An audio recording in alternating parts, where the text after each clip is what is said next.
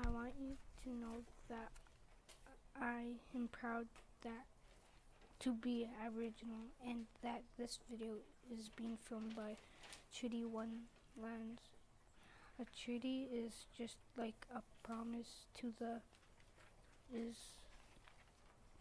important that this is important to me because Canadians are all treaty people.